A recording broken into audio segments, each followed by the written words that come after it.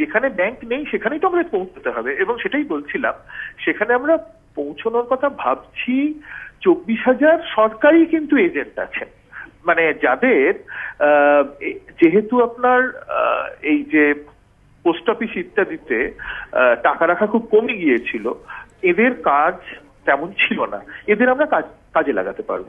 হ্যাঁ? এদের কাজে লাগিয়ে একেবারে প্রত্যন্ত জায়গাতেও পৌঁছানো সম্ভব। প্রত্যন্ত এলাকার যেখানে মানুষজন ব্যাংক আশেপাশে পাচ্ছেন না।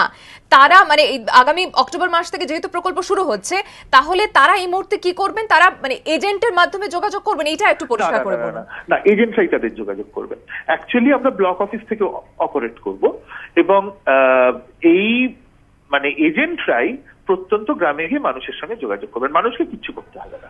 মানে হ্যাঁ। এজেন্টদের কাজই হবে লোকের সঙ্গে গ্রামে গ্রামে গিয়ে যোগাযোগ করা। এজেন্টরা টাকা হ্যান্ডেল করবেন না। যার টাকা তিনি এজেন্টের সঙ্গে এসে ব্যাংকে টাকা জমা দেবেন।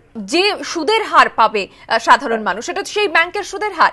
তাহলে মানে এই প্রকল্পে তাদের অর্থ রাখার জন্য কেন এগিয়ে আসবেন সাধারণ মানুষ? খুব সঙ্গত প্রশ্ন যেটা আমি বললাম যে আমরা এর সঙ্গে কিছু ইন্স্যুরেন্স বা আরও কিছু সুইটনার অ্যাড করে দেবো আর কি যাতে জিনিসটা আর একটু অ্যাট্রাকটিভ হয়। আমরা তো অলরেডি কথা বলছি ইন্স্যুরেন্স মানে ধরুন এসবিআই লাইফ এক ধরনের সামাজিক সুরক্ষা দেয়।